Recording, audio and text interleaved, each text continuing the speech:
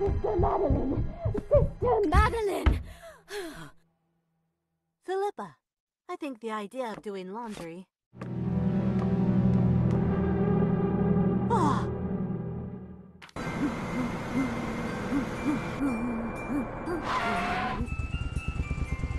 Thank you. Thank you. I don't deserve so many compliments.